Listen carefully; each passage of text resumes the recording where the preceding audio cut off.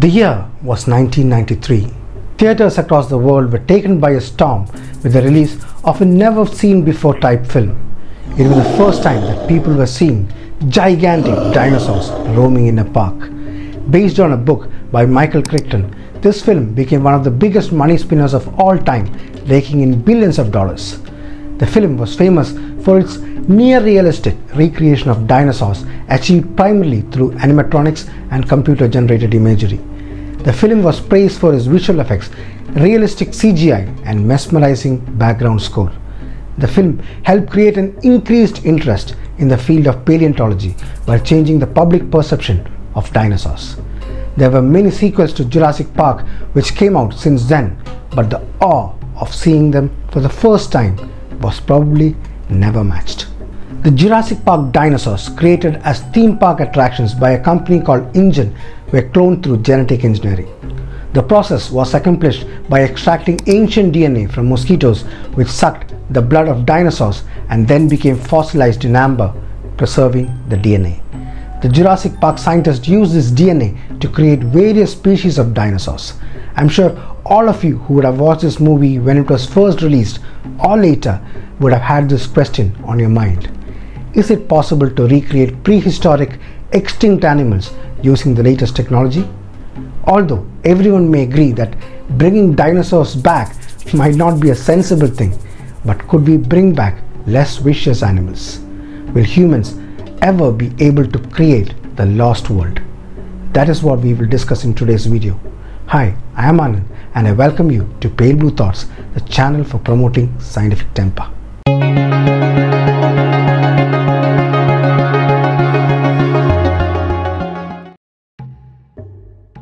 De-extinction, also known as resurrection biology or species revivalism, is the process of generating an organism that either resembles an extinct species or is an extinct species.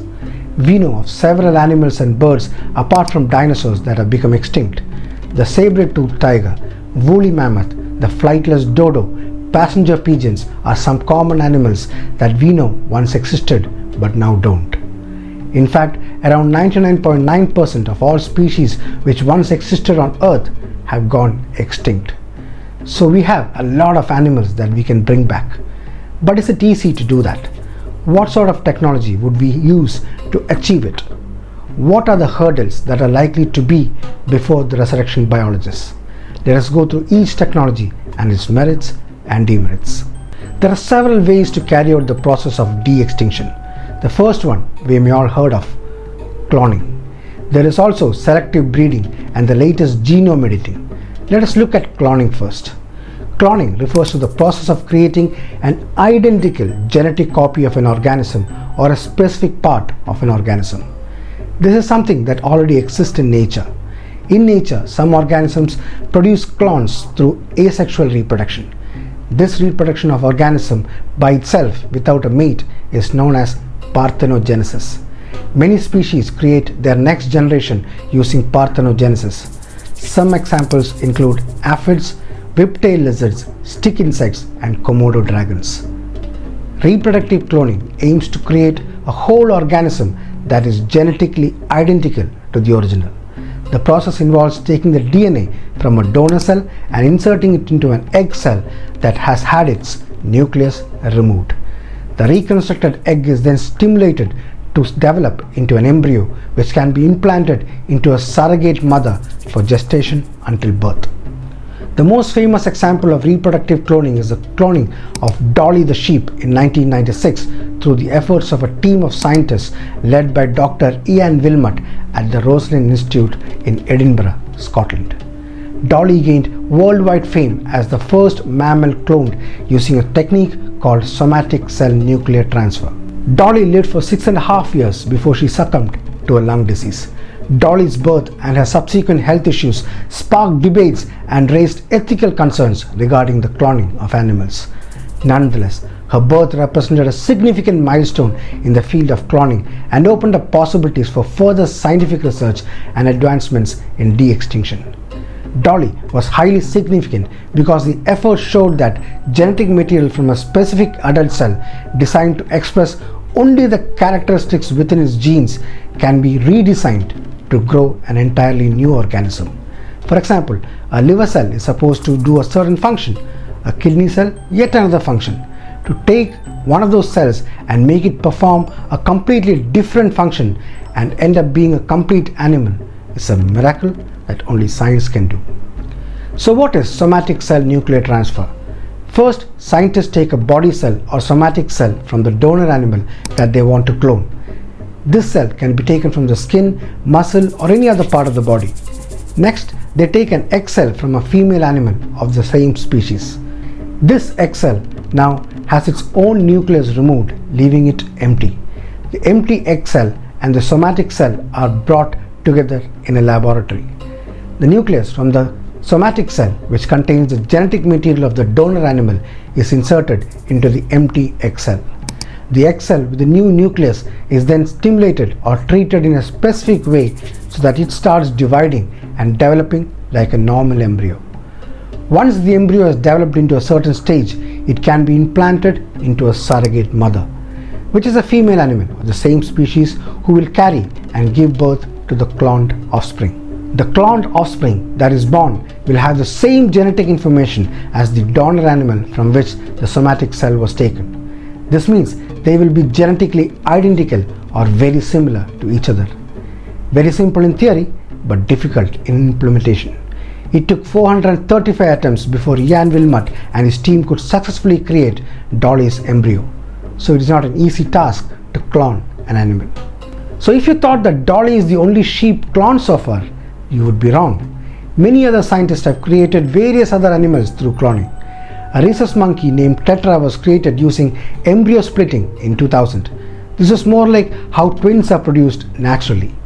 In the same year, the Chinese managed to clone pigs and were producing around 500 pigs a year to test new medicines by 2014. Gaur or the Indian bison was the first endangered species cloned in 2001. Two cattle named Alpha and Beta were cloned in Brazil. A rat named Ralph was cloned in 2003. The first successfully cloned horse, Prometea, took 814 attempts to be created. Snuppy was the first dog to be cloned in 2005. The first cat that was cloned was aptly titled Copycat.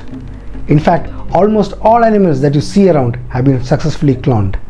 The Pyrenean ibex, which became extinct in 2000, was the first extinct animal to be cloned, but she could only survive for a few minutes after she was born. So the Pyrenean ibex got the dubious distinction of becoming the first animal to become extinct twice. Next, let's look at another technology called selective breeding or back breeding. So what is selective breeding? It is a breeding strategy where animals with desired traits are mated together to reproduce offspring that exhibits those desired traits. Remember the silver fox experiment that I talked about previously? They used selective breeding to create very human friendly foxes. Now backbreeding is a technique that aims to go back to a previous generation that possessed the desired characteristics in order to reinforce or enhance those traits. The first experiment that was attempted was to bring back an auroch, an extinct cattle species considered to be the wild ancestor of modern domestic cattle. It was one of the largest herbivores that lived some 12,000 years ago. The African aurochs may have survived until at least to the Roman period, as indicated by fossil records. It was still widespread in Europe during the time of the Roman Empire, where it was widely popular as a battle beast in Roman amphitheaters. Excessive hunting began and continued until it was nearly extinct. Fossils found in West Bengal indicate that the Indian aurochs may have survived until the early 12th century. The aurochs have been depicted as paintings on cave walls. So back in the 1920s itself, two scientists named Heinz and Lutz Heck tried to breed an auroch look-alike using European cattle breeds by using back breeding techniques. The result, Heck cattle were strong but differ from the aurochs in many respects, although a resemblance in color and less reliably horns had been achieved. In 1996, scientists attempted to backbreed them again with other primitive breeds in order to enhance the resemblance to the aurochs. The results are called Taurus cattle being larger and longer legged than heck cattle and having more auroch like horns. but they are not clones, although there is a resemblance. Other attempts of backbreeding includes the backbreeding of pigs to create Iron Age pigs and the Quagga project. Of these, the Quagga project is an attempt based in South Africa to breed animals which strongly resemble the now extinct quagga, a species of the plain zebra which died out in 1883. The quaggas were ruthlessly hunted down by humans and by selective breeding from a selected population of the plain zebra. An attempt is being made to retrieve at least the genes responsible for the quagga's characteristic striping pattern. Another famous project underway is the Direwolf project. The Direwolf project is a breeding program aimed at recreating the physical and behavioral characteristics of the extinct direwolf. The direwolf was a large prehistoric wolf species that lived thousands of years ago and went extinct around 10,000 years ago. The goal of the direwolf project is not to bring back the exact same species but to create a modern breed of dog that resembles the direwolf in appearance and temperament. Anyways, backbreeding is not a very easy process and so it is not a common technique used to bring back extinct animals. Today the latest techniques involve a combination of techniques such as cloning, genetic engineering and selective breeding rather than solely relying on backbreeding. This brings us nicely to the latest technology that could yield positive results, genome editing. Genome editing or gene editing is a scientific technique used to make changes or modifications to the DNA of an organism. DNA is a genetic material that carries the instructions for how an organism develops and functions. In simple terms, think of a DNA as a set of instructions that determine how an organism is built, like a blueprint. Genome editing allows scientists to make changes to this blueprint, adding, removing, or modifying specific parts of the DNA.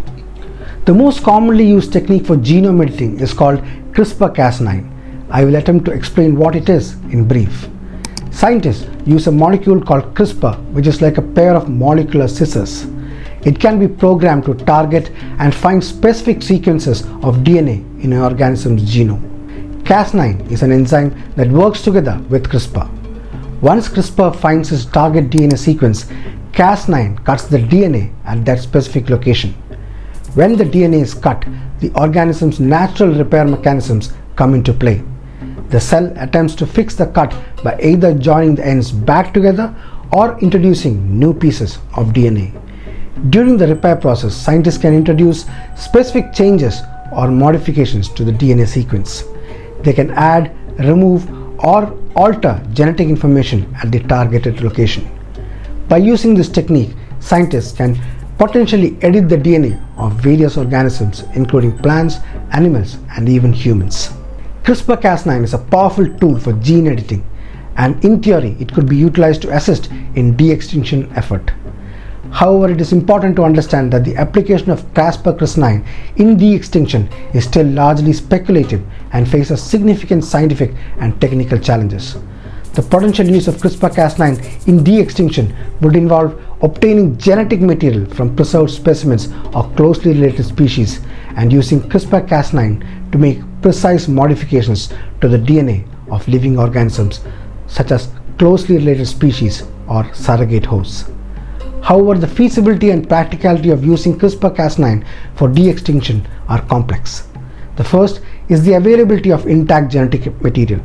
The first is the availability of intact genetic material. This has been the most challenging roadblock in the whole process of de-extinction. Obtaining high quality and intact DNA from extinct species can be extremely challenging as genetic material can degrade over time. This is best explained using the attempts that scientists have made to recreate the woolly mammoths. The woolly mammoth is a species of mammoths which is a close relative of the Asian elephant. The woolly mammoth was roughly the same size as modern African elephants. The woolly mammoth coexisted with early humans who used its bones and tusks for making art, tools, and dwellings. They also hunted the species for food.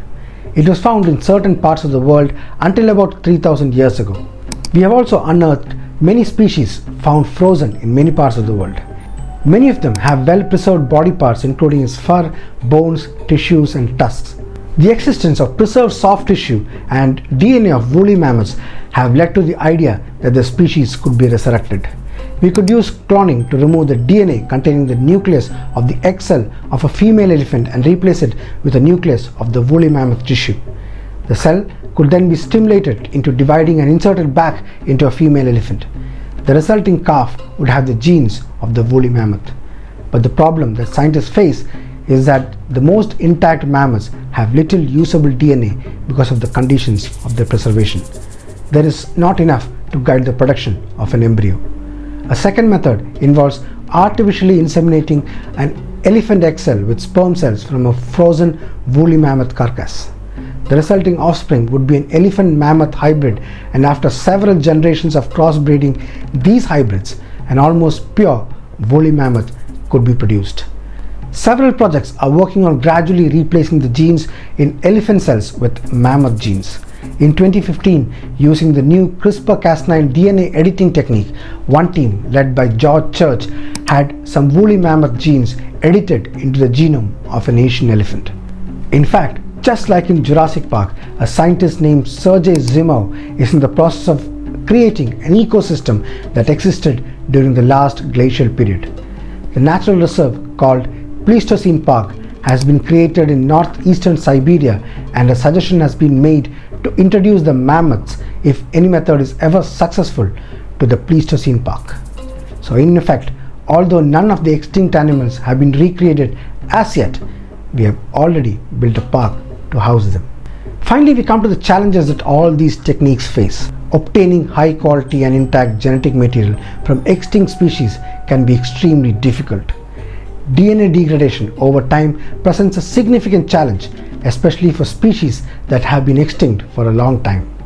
Even with preserved genetic material, there may be gaps in our knowledge of the extinct species genome. Understanding the complete genetic makeup and intricacies of an extinct species is crucial for accurate recreation. We don't want to repeat the mistakes that the Jurassic Park scientists made, do we? Also, the absence of living organisms closely related to the extinct species which can serve as surrogate hosts for the reconstructed genetic material can hinder de-extinction efforts. The reintroduction of an extinct species into its former habitat can have significant ecological consequences. The ecosystem may have changed since the species went extinct, and reintroducing a species without considering these changes can disrupt existing ecological relationships. There could be disease carrying organisms which didn't exist when the animal was previously alive and this could prove dangerous to the newly created animal. Then there is the question of ethics. There are concerns about the unintended consequences of cloning and other de extinction techniques like genome editing. There is always a potential for misuse or exploitation and the impact on biodiversity. Public perception and acceptance of de extinction is really important when it comes to recreating extinct animals. In conclusion, De extinction is a captivating concept that holds the promise of bringing back species that have long vanished from our planet. While the idea of resurrecting extinct animals is fascinating, it is crucial to approach de extinction with caution and careful consideration. The scientific and technological advancements required to make de extinction a reality are still in their early stages, but there is light at the end of the tunnel. As we explore the possibilities of de-extinction, we must remember that our primary focus should be on conserving and protecting the existing biodiversity that inhabits our planet. Investing resources in preserving the currently endangered species and their habitats is crucial for maintaining the delicate balance of our ecosystem. De-extinction reminds us of the importance of preserving the biodiversity we have today. It is a reminder to appreciate and protect the incredible diversity of life on the pale blue dot, the only home we all have. I hope you liked today's episode and the information provided was new and useful. Please like, share, comment, and subscribe if you like the content. I shall be back with more scientific content. Until then, it's bye bye from Pale Blue Thoughts.